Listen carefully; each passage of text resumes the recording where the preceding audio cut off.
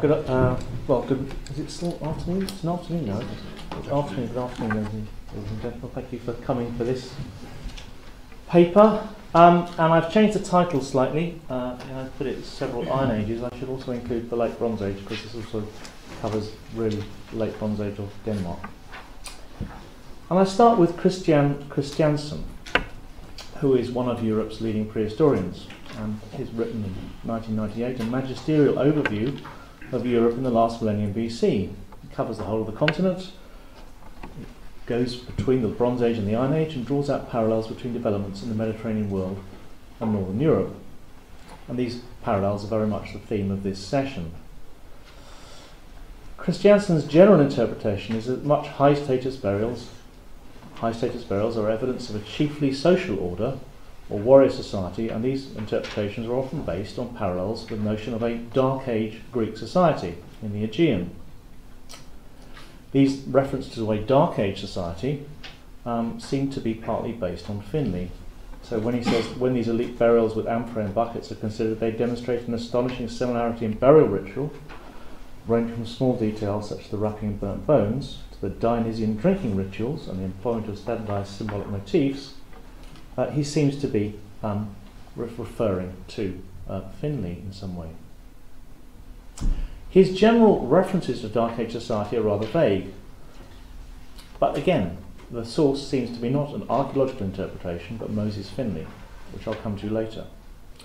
In one section, he alights on a number of high status um, tumulus burials in Denmark on the island of Funen. Two of these are to be found at somewhere called.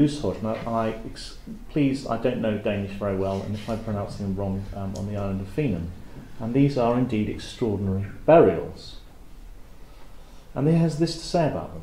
The ritual is reminiscent of the Homeric tradition and is known from some of the earlier Central European princely burials, such as Chaka, with strong Mycenaean influences on burial goods. And this isn't the only place where Kristiansen detects Homeric burials in Europe particularly in Germany and Italy. He goes on so elsewhere to say, when these elite burials with amphorae and buckets are considered, a demonstration of astonishing similarity in burial ritual, ranging from small details such as the wrapping of burnt bones, as described in the 23rd book of the Iliad, to the Dionysian drinking rituals and the employment of standardized symbolic motifs and figures on the amphorae. But it is surely the claim that the burials at Lusehøj are in the Homeric tradition that must strike most scholars as of being a little bit far fetched. What is the basis for this claim? Well, both of the tumuli, there was one excavated in the, 18, in, the, in the 1970s and there was one excavated by a Danish king in the 1860s, are massive, much larger than any other Danish examples of the same date. Uh, this size of tumuli echoes the description of the size of the mound that buries Patroclus in the Iliad. In both of these Lusehøj tumuli, their bodies are cremated and associated with numerous metal valuables. In the burial excavated in the 1970s, an elaborate cremation platform seems to have been used. In the one excavated in 1860, the cremated remains are placed in a Central European hammered vessel. Now, that's actually not a hammered vessel, it's just an example of a hammered vessel of about the same date that I could find uh, when I was looking on the internet. At both Lusehøj burials, there is ostentation in the destruction of valuables, where they seem to have been burnt with the bodies. Valuables which have often travelled some distance before being placed in the grave. And the Lusehøj burials, burials uh, are of the same date as some in Greek I'll be coming to later. So the Homeric tradition referred to here is the description of the burial of the warrior heroes in the last two books of the Iliad. First Patroclus in the Iliad, and then Hector cremated on a pyre, their bones wrapped in a linen cloth and placed in a valuable antique. In the case of Patroclus, a gold phiale, over which a mound or tumulus is raised up. We do not find burials like this in the Aegean Bronze Age, the so called Mycenaean world, as Kristiansen implies where persons were inhumed in chamber or tholos tombs over a number of generations. Inurned cremation begins in Greece at the Bronze Age Iron Age transition around 1100 BC. An early example is Tomb 201 from the North Cemetery at Knossos, where a male person associated with a sword seems to have been cremated with an antique uh, Cypriot bronze stand uh, and an antique um, boar's tusk helmet, and the sword seems to have been deliberately broken in the burial, and the antique bronze sand seems to have been actually burnt over the top of the body. The full panoply of Homeric burial practices only appears a century later at Lefkandi Toumba. So here's Lefkandi Toumba. Uh, this is a structure built over, or we're not quite sure whether the, the burials were there first and the thing was built, the big structure here was built onto it, or the burials are built into the floor of the structure. This remains a long-standing debate in Aegean archaeology. This is a double burial where a male warrior is cremated, his ashes and bones wrapped in cloth, and placed in an antique Cypriot bronze stand, a bronze amphoroid crater. He is accompanied by his queen, who there's always been an argument. So this is the male cremation here with a broken sword, and here is the inhumation of a younger female who might have cut marks and might have been sacrificed if we don't quite know. Uh, and if, if she was sacrificed, this again uh, has echoes of the description of the sacrifice of the Trojan hostages in the Iliad's description of the burial of Patroclus. And eventually, a mound is raised up over him and the building and the burials. And the sacrifice of horses also take place at the same time. At this point, everyone's inner skeptic will be asking, are you seriously proposing that the Lusehøj burials, or was Kristiansen supposing that the Lusehøj burials were influenced either by a Aegean early Iron Age burial practice or by some kind of Homeric narrative? Do you believe, either Kristiansen or myself, in a Homeric tradition that spans all of Europe? Well, no to both questions. I'm not proposing such a thing, nor do I hold such a belief. I would point out that Chris Kristiansen's frequent use of Homer and Mycenaean in the same sentence is something of a red herring. Mycenaean burial practices are not Homeric, as uh, Hilda Lorimer pointed out back in the 1950s. And there are few, if any, Aegean scholars now think that the Mycenaean world and the world of Homer have much to do with each other. I am, however, pointing to parallels in practice between the late Bronze Age Denmark and early Iron Age Greece two societies which are approximately contemporary uh, with one another. These parallels might have some bearing on notions of personhood, parallel personhoods, as it were.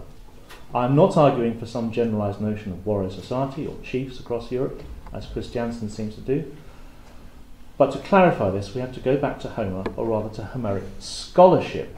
And this is where I think archaeologists haven't kept up with what's going on in Homeric scholarship. There's always a time lag in the impact of scholarship in one field and its impact on another. One of the things that Kristiansen talks about extensively is some notion of Dark Age Greek society. But again, this notion seems to be based not on archaeological syntheses such as those of Anthony Snodgrass or Nicholas Coldstream, but rather on second-hand versions of Finley's World of Odysseus. This World of Odysseus posited that the Homeric poems in general, and the Odyssey in particular, could be used as a kind of ethnographic analogy for the Aegean world of the 10th and 9th centuries BC. That an identifiable historical Homeric society existed at a particular point in time and space during the so-called Dark Age. That Homer describes a socially plausible real world rather than a fictional poetic one has always struck many scholars, particularly archaeologists, as being implausible. Attempts to rescue it, as Ian Morris did in 1986, have been based on the assumption that the Iliad and the Odyssey both assumed a recognizable textual form around 700 BC. This assumption has come under sustained attack by Gregory Nagy in Harvard, who has argued that both poems took recognizable form not through some single act of composition by a single individual poet, but rather assumed a form of poems through repeated and convergent acts of oral performance by many poets in a Panhellenic setting over a period of that's two centuries between um, 700 and well 750 and uh, 550 BC. There was no Homer as such, only an oral Homeric tradition that gradually assumed written form. Recognizable and partially textual versions of the Iliad and the Odyssey would only have appeared around 550 BC at the earliest. In brief, Homeric scholarship has moved away from society and the notion of Homeric society and back towards narrative and narratives of the self. This aligns in some ways with prehistoric archaeology's current interest, particularly with personhood. Personhood is not a new concern within classical studies and Homeric studies. That Homeric heroes had a rather dispersed notion of the self, that Homeric heroes talk not about themselves, but about their parts, liver, heart, and so forth, as the principal locus of agency, was first pointed out by the great classical scholar E.R. Dodds. Oh, sorry, this is more descriptions of the Lefkandi burial. So here's, uh, it's not the great classicist E.R. Dodds, but it's someone quoting from Homer, um, our great foreign secretary. Um, when interviewed by a Guardian journalist in 2011 and asked about whether he had found it at all difficult being Mayor of London, Boris Johnson said, Clothy de cradier que cudron potis uh, Bear up my heart, you suffered worse. But he's talking about his heart, he's not talking about him, so he's talking in the E.R. Dodds way of talking about the self. Now, of course, I would like, um, this also refers to E.R. Dodds' great um, chapter on Agamemnon's apology, where Agamemnon doesn't apologise. What he says instead is, um, I was not responsible, but Zeus and fate and that strife came through the air. They placed in my chest and counsel a vicious madness. Now, one hopes that eventually Boris Johnson will say the same thing. but uh, maybe that's been a bit too optimistic. but the point here is that, uh, that uh, one might see uh, Homeric, uh, Homeric persons as being permeable individuals, except that this debate has already happened in classical studies. Uh, not only E.R. Dodds, but Bruno Snell talked about uh, personhood uh, in the 19, early 1950s.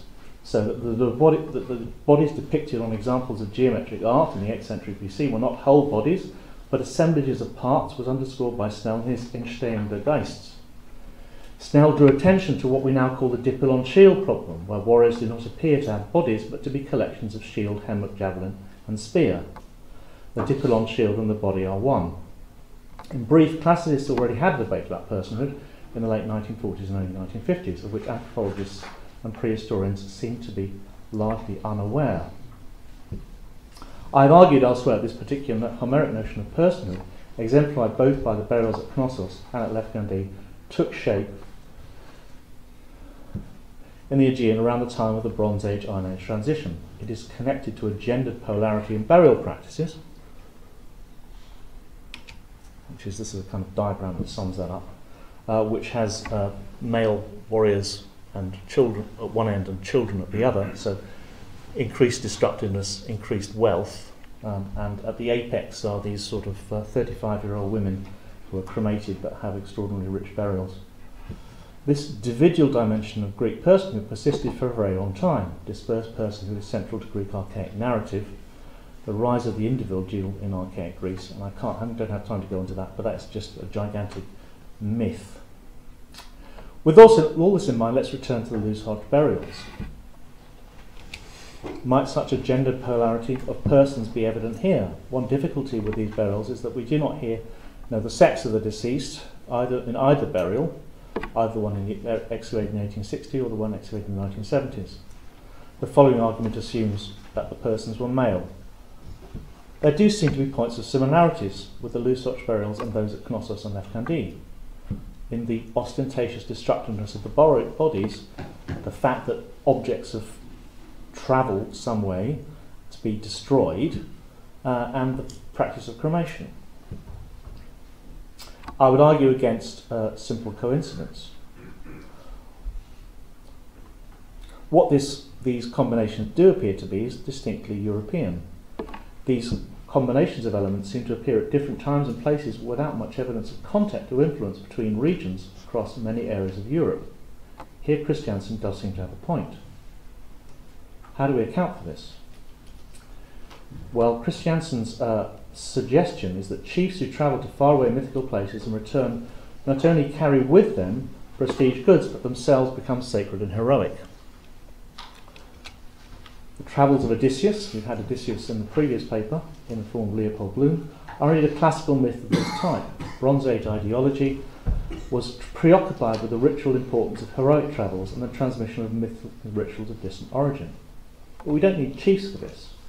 what the whole debate about agency and object biography has highlighted is that some objects are made to travel. Um, and I would argue that things like craters, such as the Francois vase here or the um, Vix crater here, were made with the deliberate intention of travelling. Just as the Homeric poems, some objects have narratives attached, just as the Homeric poems might have assumed their present form through convergence, so the agency, both fractal and cumulative, of the Francois vase and the Vix crater carried ideas from the Aegean to Italy and Transalpine Europe. On another note, the late Martin West has drawn attention to the structural similarities underpinning many of the surviving myths of Indo European peoples. The Iliad is not the only European epic where closure is reached through the ostentatious burning of the hero at the end of the poem. There is one composed whose subject matter is much closer to Lusehøj. Thank you.